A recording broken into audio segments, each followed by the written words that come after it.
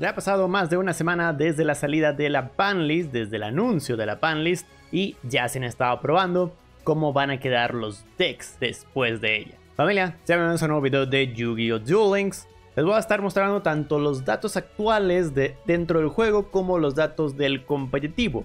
Más que nada el competitivo hay que hacerle más caso ya que los datos actuales dentro del juego pues todavía como no está aplicada la banlist se siguen jugando ciertas cosillas. Ejemplo, vámonos a lo más usado de monstruos. Primero que nada tenemos Blue Eyes, eso siempre va a ser lo más usado, lo más querido. Luego tenemos Little Luz, lo cual no recibió ningún golpe, así que creemos que va a seguir exactamente igual. Y luego tenemos un poco de esto que nos imaginamos que es un poco de Rocket, pero como se puede jugar en cualquier lado, odio que cuando le pique a uno de estos se abra la pestaña esa. Pero bueno, estos más o menos son Rockets, pero también pueden ser este, el deck de Dark Fluid. No tal cual es Rocket Rocket aquí. Entonces, más bien en tercer lugar tenemos a Fleur con la habilidad de Fleur. Y de hecho, ahorita vamos a ver también las habilidades. Eh, luego nos pasamos a Star Seraph. Como dije, muy probablemente después de que ya sean tocados, van a bajar un poco. Ya no van a ser tan usados. Ya luego vemos los On-Chain. Luego tenemos a, ahora sí, los Rockets.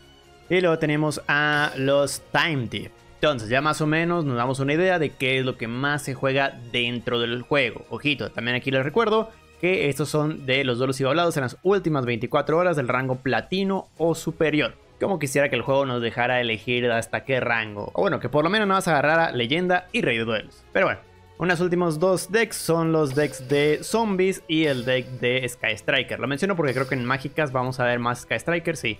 Después de todo lo de Blue Eyes y todo eso, después de Little Lusk, después de Unchain, después de Rockets, después de Time Thief, ahora sí vemos todo lo eh, Sky Striker, es lo que más llena por aquí las cartas de magia. Pero sí, más o menos es lo mismito que estamos viendo en los monstruos. El mismo orden. Y ahora sí, en habilidades, también vemos primero Blue Eyes, Little Lusk, Flavor precisamente, la silla gamer con Dumont, los Star Seraph.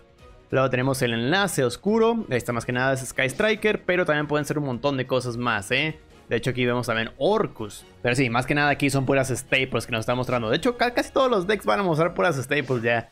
Sí, todos los decks están mostrando nada más staples. Bueno, casi. Estos por lo menos sí muestran sus cartas. Así, incluso déjame ver, este debería mostrar, ¿no? Incluso este, digo, más o menos un poco de sus cartas, entre comillas. Pero bueno, vamos a ver el ámbito competitivo. Listo, aquí estoy mostrando todos los decks que han llegado a Duelos, que han topeado en torneos dentro de la última semana vemos que prácticamente Little Lusk es de los mejorcitos y sí, porque también es barato, un poco más barato que los Borrelings. Luego tenemos Shadow, Sky Striker, Shark, Time Thief, Fleur y Dark Fluid. Un poco lo mismito que estábamos viendo en el top, nada más que sin Star Seraph. Star Seraph está un poco más abajo y Shadow está más arriba. Pero bueno, vamos a ver el ámbito competitivo realmente, los torneos únicamente, no los que llegan a Rey de Duelos. Y aquí ya vemos un poco más de movimientos. Primero que nada, tengo que decir, Star Seraph está muy abajo. Ya con esto podríamos decir que está fuera de la tier pero Gillo. Recuerden que la ban list le tocó también la habilidad, entonces es posible que muchos torneos estén baneando el uso de la habilidad simplemente. Y con eso, pues obviamente ya Star Seraph no puede hacer mucho. ¿Qué digo? En mi opinión deberían de dejarlos, nada más decirles de que, oigan, Recuerden que únicamente pueden usar esta parte de la habilidad una vez por duelo, no por turno. Y ya, entonces no debería ser una excusa, pero bueno, por eso no podemos definir realmente si está fuera de la tier list o no. De hecho, los de Dwellings Meta, incluso después de la ban list, ellos creían que iba a ser tier 2. Yo siento que más que nada es nada más por mientras que se aplica la ban list. Entonces yo lo pondría más que nada como un sí, tier 2 o tier 3. Porque de todas maneras esos dos pequeños golpes que le hicieron, aunque fueran mínimos, pues sí le afecta un poquillo. Vale, y ahorita les voy a mostrar los decks en sí. Pero primero que nada los numeritos. Little Lusk con 15 decks. Ojillo, recuerden que le podemos picar y vemos cuántos han topeado en segundo, cuarto lugar.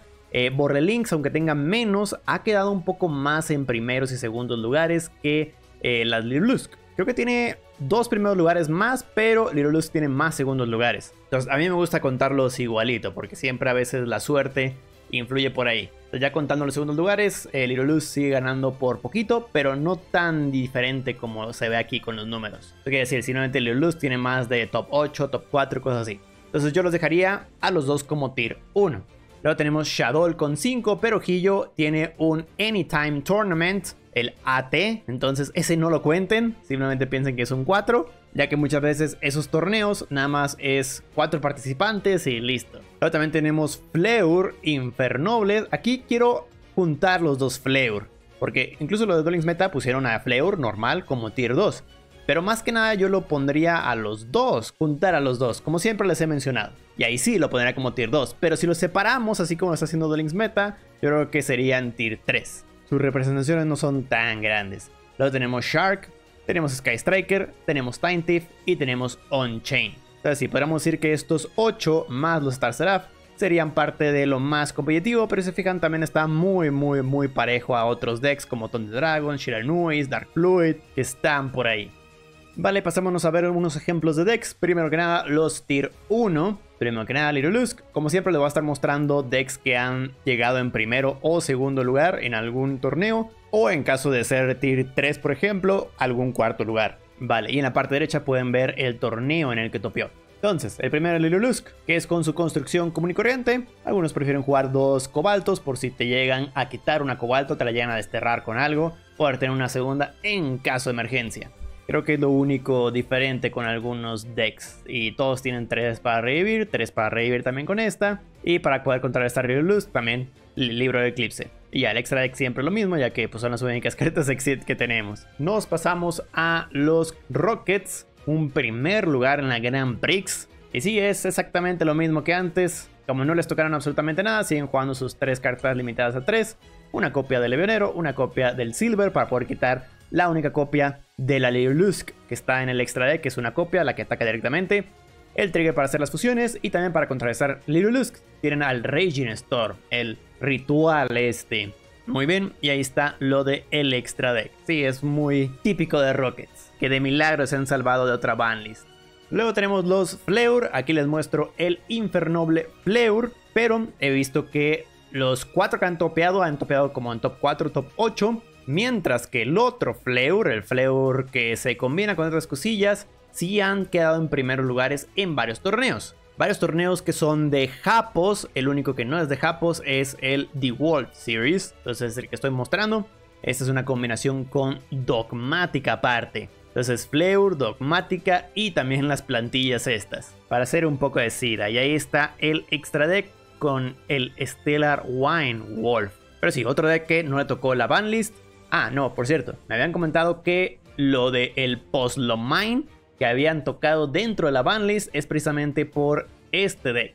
Principalmente porque gracias a él sacaban al Pishbalkin. Pero sinceramente eso no hizo nada, literal. En directo en Twitch les mostré un video de Reddit en donde apenas 3 horas después de que se anunció la banlist, alguien puso, eso no va a detener a que este deck, o sea, bueno, la habilidad más que nada, la habilidad nos permita hacer la invocación de esta cosa. Ya que como este buen necesita dos monstruos de nivel 8 o mayor, la habilidad te saca uno de ellos con esta cosa. Y fácilmente podemos hacer sincro ya que también te saca varios monstruitos que te ayudan a cambiar niveles. Fácilmente llegamos a hacer otro sincro 8 y ya está. Konami tiene la misma preocupación. Entonces sí, eh, por eso es que habíamos dicho que lo que tenía que hacer Konami era tocar la habilidad o si realmente cree que este es el problema, de una vez prohibirlo. Pero sí, yo digo que más que nada la habilidad. Nos pasamos al deck de Shark, un primer lugar en el Quantum Dailies. Aquí nada más tiene dos copias de la izquierda, tres copias de la derecha, que es la más importante obviamente, por eso es SR. Varias cartas para poder contrarrestar Lusk y varios Trap Hole también, ¿eh? Nice. Utilizando todo lo posible, también con los exits. Así que no está nada mal. Luego tenemos Sky Striker, que este está un poquito raro porque creo que dos o tres decks de estos es de el mismo torneo, pero en diferentes eh, días. Entonces está un poquito raro, pero sí, se llama CDL Qualifiers. Y también lo menciono porque tienen side deck. Entonces, ojito con eso. En el formato de DL, o sea, en el formato normal de juego, pues no podemos usar un side deck, así que esto no nos ayuda mucho el cómo construir realmente el deck. Pero bueno, si quieren ver las repeticiones de este deck y de los demás decks que ya hemos visto, ya saben que pueden encontrar todos los videos en el canal. Luego tenemos un top 4 de Time Thief, lo típico de ellos, por cierto, nada más en mi videito puse creo que nada más una copia de este, siempre pónganle por lo menos dos, ese fue mi error, pero no, sí, mínimo dos. Vale, ahí está el extra deck. Y por último, tenemos un ejemplo de los Star Seraph. Como verán, ya está limitado a 3 esta y no tiene cartas limitadas a 3. Entonces, en teoría sí están usando las nuevas reglas. Pero lo mismo, eh, eh, fue un primer lugar, pero fue del mismo torneo de las Sky Striker. Entonces, por eso tómenlo con un granito de sal. Tiene side deck también. Pero sí, de todas maneras, yo siento que sí, el deck de Star Seraph sí va a quedar dentro de la tier list. Pero sí, por lo que vemos de los datos, pareciera como si se fuera a salir. Pero no lo tomen a muerto, ¿eh? Ya vamos a ver realmente dónde se posiciona una vez que se aplique la banlist a mediados del mes. Y también mediados finales del mes tenemos en teoría una nueva caja con el nuevo personaje. Así que esperemos que esa caja mueva un poquito al meta. Porque estoy seguro que muchos ya no quieren ver Borrelinks y Lilulusk. Que son los únicos dos decks que realmente estamos 100% seguros que son los mejores decks. Todo lo demás por lo menos está un poco balanceado. Pero díganme ustedes qué opinan en los comentarios, cómo dejarán ustedes la tier list.